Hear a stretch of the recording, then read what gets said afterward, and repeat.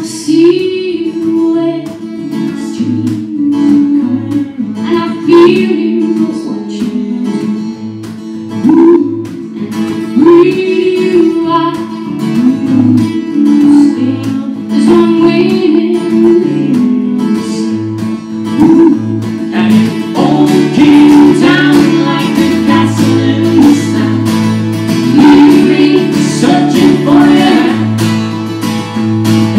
Jesus.